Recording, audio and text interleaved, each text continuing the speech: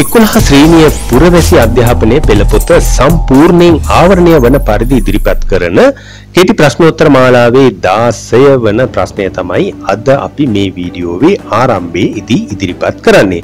අපි බලමු නීතිය හා යුක්තිය කියන පාඩම යටතේ ඉදිරිපත් කරන දාසය වන ප්‍රශ්නයෙන් මොන වගේ කරුණක්ද විමසලා තියෙන්නේ කියලා. අපරාධ නීතියේදී ප්‍රමුඛතාවය එහෙම නැත්නම් මුල් තැන ලබා දෙන්නේ මොන වගේ කරුණු සඳහාද? මොන වගේ කරුණු පිළිබඳවද අපරාධ නීතියේදී ප්‍රමුඛතාවය එහෙම නැත්නම් වඩාත් වැදගත් තැන දීලා කතා කරන්නේ? අපරාධ නීතියේදී. දැන් ඔබේ මතකය අවදි කරලා බලන්න. එහෙම නැත්නම් ඔබේ මතකය කොයි තරම්ද කියලා පරීක්ෂා කරලා බලන්න ඔබටම පුළුවන්. මේ වීඩියෝවේ ප්‍රශ්නය බලලා ඊට පස්සේ වීඩියෝව නතර කරලා ඔබේ පිළිතුර ඉදිරිපත් කරලා කියලා එහෙම නැත්නම් ලියලා ඊට පස්සේ පුළුවන් වීඩියෝව නැවත ධාවනය කරලා මේ ප්‍රශ්නයේ පිළිතුරත් එක්ක ඔබේ පිළිතුර ගලපලා බලන්න. අපි බලමු අපරාධ නීතියේදී ප්‍රමුඛතාවය ලබා දෙන්නේ කුමක් සඳහාද කියලා. අපරාධ නීතියේදී මුල් තැන ලබා දෙන්නේ එහෙම නැත්නම් අපරාධ නීතියේදී ප්‍රමුඛතාවය දීලා කතා කරන්නේ මොනවා පිළිබඳවද?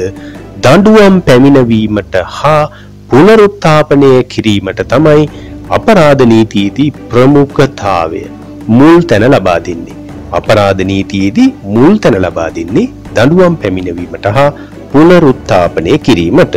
අපි බලමු ඊළඟට මේ පාඩම ඇසුරින් එහෙම නැත්නම් නීතිය හා යුක්තිය කියන පාඩම ඇසුරින් ඉදිරිපත් කරන 17 වෙනි ප්‍රශ්නය මොකද්ද කියලා 17 වෙනි ප්‍රශ්නය තමයි අපරාධ නඩු විධාන සංග්‍රහයට හා දණ්ඩ නීති සංග්‍රහයට අදාළ වර්ෂයන් තියෙනවා.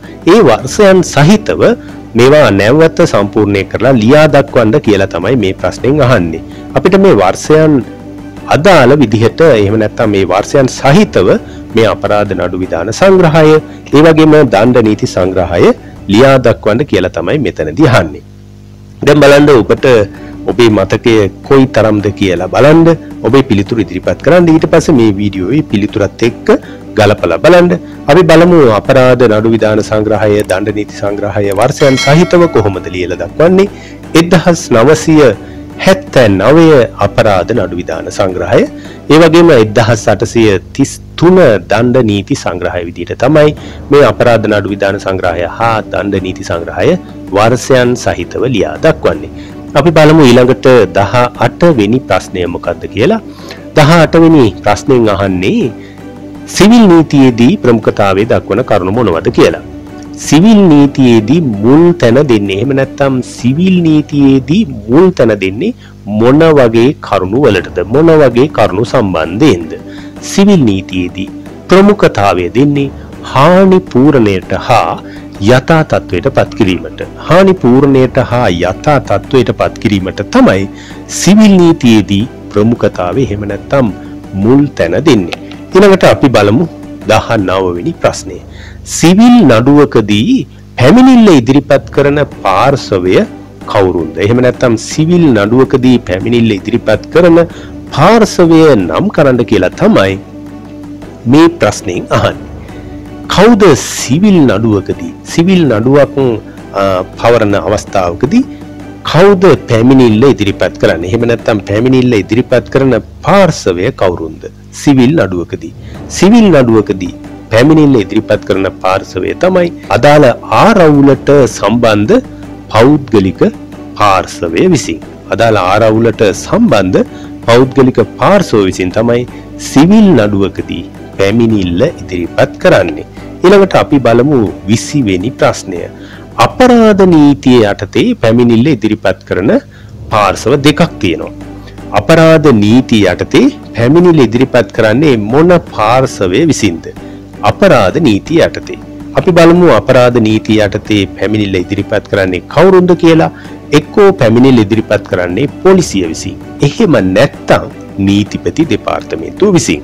අපරාධ නීතිය යටතේ පැමිණිල්ල ඉදිරිපත් කරන පාර්ශව තමයි එක්ක පොලිසිය එහෙම නැත්තං නීතිපති දෙපාර්තමේන්තුව. ඊළඟට බලමු විසි එක්වෙනි ප්‍රශ්නය. අපරාධ නීතියට අනුව දඩුවම් ලැබිය හැකි බරපතල වැරදි තියෙනවා.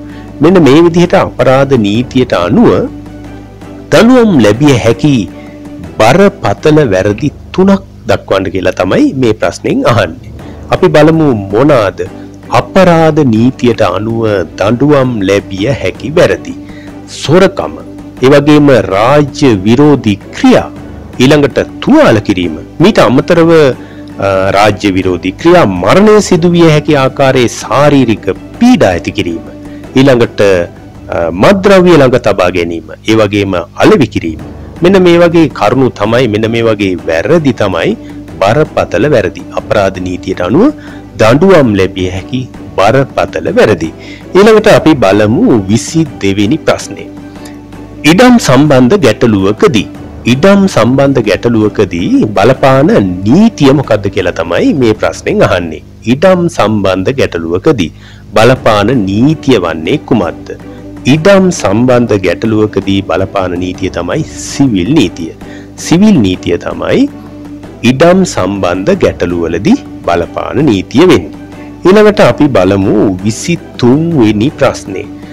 අන්තර්ජාතික නීති ඇසුරින් පැන නැගුණ නීති සාකා අන්තර්ජාතික නීතිය ඇසුරින් පැන නැගුණ නීති සාකා තුනක් දක්වන්න වගේ ප්‍රශ්නයක් ඇහුවොත් ඔබට පුළුවන්ද මේ කරුණු පෙළපොත ඇසුරින් මතක් කරගන්න? එහෙම නැත්නම් පෙළපොත බලලා හරි මේවට පිළිතුරු ඉදිරිපත් කරන්න බලන්න.